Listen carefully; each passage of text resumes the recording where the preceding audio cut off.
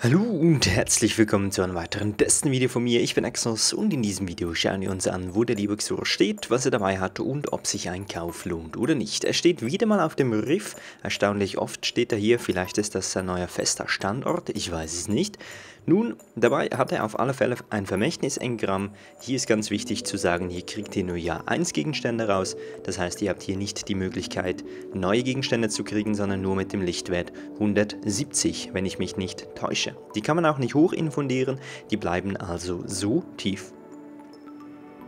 Dann der ewige Krieger hier erhält der Titan die Fähigkeit unaufhaltsam, damit ist er schwieriger zu eliminieren, wenn er in seiner Super ist und man kann dann das skilltechnisch auf etwas anderes ausweichen. Ich persönlich finde den nicht so wahnsinnig gut, denn unaufhaltsam ist als Fähigkeit schon eigentlich relativ nice einzusetzen. Die meisten werden da aber Juggernaut oder äh, Schulterangriff nehmen, denn das sind die, wo man darauf ausweichen kann unaufhaltsam ist da eine ganz nette Fähigkeit, aber extra ein Exo-Teil dafür zu opfern, würde ich nicht machen. Deswegen finde ich ihn nicht gut, sowohl im PvP als auch im PvE und ist meines Erachtens nach kein Kauf wert. Also kein Must-Have-Gegenstand, da kann man ruhig darauf verzichten. Dann hätten wir den Schwachkopfradar. Hier bleibt das Radar aktiv, wenn man mit der Primärwaffe zielt. Finde ich auch relativ ja, was soll ich sagen, nicht so sinnvoll. Denn es ist so, wenn man ganz kurz den Trigger loslässt vom Ziel, also wenn man am Ziel ist, man lässt das Ziel ganz kurz los, dann sieht man für eine halbe Sekunde, für eine Millisekunde oder so, kann man den Radar erkennen. Und dann weiß man direkt an, Feind ist in der Nähe oder nicht. So mache ich es auf alle Fälle, ganz kurz wegzielen und dann hat man den Radar eigentlich schon gesehen und viel mehr braucht man nicht.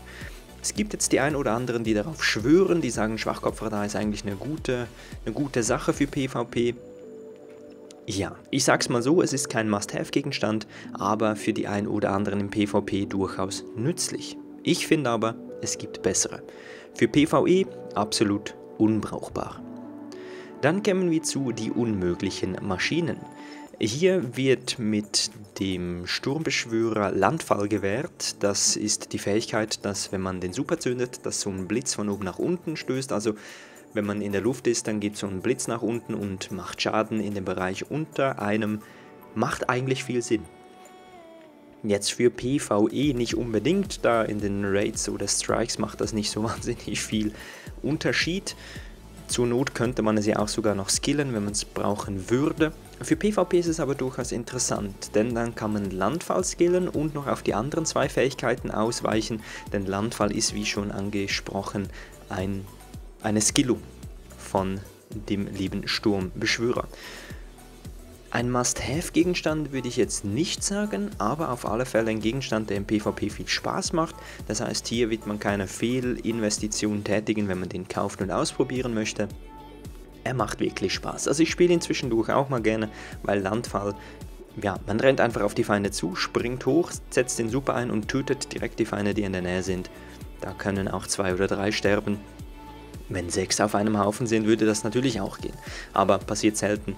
Aber da ein, zwei mitzureißen, wenn man das zündet, geht eigentlich relativ gut. Bevor man es kauft, kann man es natürlich auch mit der Skillung ausprobieren und kann dann sagen, hey, den möchte ich eigentlich kaufen. Dann die Surus Regime. Ja, was soll ich zu Exo-Waffen sagen momentan? Die Impulsgewehre sind gut. Ähm, Meines Erachtens nach sind momentan nur die Impulsgewehre gut. Alle anderen Waffen können fast schon einpacken. Also das heißt nicht, dass man die anderen nicht mehr spielen kann, aber man hat drastische Differenz zwischen Impulsgewehren und Automatikgewehren, Impulsgewehren und Scoutgewehren. Also Impulsgewehre dominieren momentan halt einfach. Die Surosh Regime wäre eigentlich von Grund auf keine schlechte Waffe, aber zurzeit mit diesem Balancing-System, das wir haben, ist sie leider nicht so der wahnsinnige Hit. Ich würde aber hier sagen, ich würde sie mal vorsichtshalber kaufen, denn wenn das Ganze wieder gepatcht wird, könnte sie wieder nützlich sein und werden. Hier würde ich auch sagen, die Surus Regime ist mehr fürs PvP geeignet und weniger fürs PvE. Natürlich, man kann sie im PvE auch spielen, aber im PvE kann man sehr, sehr viele Waffen spielen. Da braucht man jetzt primär nicht unbedingt eine exotische Waffe. Deswegen, ich würde sie mal vorsichtshalber kaufen, falls da PvP-technisch nochmal das Balancing-System ein bisschen geändert wird und die Automatikgewehre wieder ein bisschen mehr Schaden machen. Im Großen und Ganzen eigentlich keine schlechte Waffe, aber eben momentan ist PvP impulslastig. So sieht es halt leider aus. Dann Waffenornamente hätten wir hier für die Zalo Supercell Berührungsschutz und äh, Feuer gestellt für das Wölflingsgeheul. Irgendwie hat das Wölflingsgeheul immer hier einen Platz mit den Ornamenten. Naja, gefühlt technisch auf alle Fälle. Dann Plasmaantrieb und äh, Smaragdspule wäre aktiv. Wir können hier einen blauen Sparrow zu einem legendären upgraden, falls wir das möchten. Dann können wir schwere Munitionssynthesen kaufen für seltsame Münzen. Ich mache das gerne mal, weil äh, seltsame Münzen brauche ich momentan nicht so viel.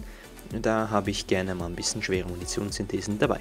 Da kann man auch die Fraktionen leveln übrigens, ist in der Beschreibung verlinkt. Dann 3D-Münzen. 3D-Münzen kann man gut einsetzen, um exotische Gegenstände zu, in Anführungszeichen, farmen. Einfach immer fleißig einsetzen, dann kriegt man hier und da mal ein Exo. Dann hätten wir die Glasnadeln, da können wir Rüstungsteile im exotischen Bereich umwürfeln. In der Beschreibung ist auch noch ein Video verlinkt, falls man da mehr Infos bräuchte. Und zu guter Letzt hätten wir Lichtpartikel. Wir können hier zwei seltsame Münzen zahlen und erhalten ein Lichtpartikel raus. Lohnt sich nicht, denn seltsame Münzen sind wertvoller als Lichtpartikel. Gut, das war's auch schon vom Video. Wenn es euch gefallen hat oder auch geholfen hat, lasst ein Like da, würde mich sehr freuen und wir sehen uns im nächsten Video. Bis dann.